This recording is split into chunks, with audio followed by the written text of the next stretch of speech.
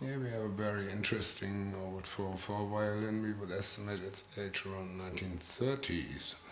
The violin shows a nicely flamed two-piece maple back and a medium to fine grained spruce front. In our workshop, the violin received a new setup with new ebony pegs, new ebony tailpiece and ebony chin rest, as well as a new bridge and new strings.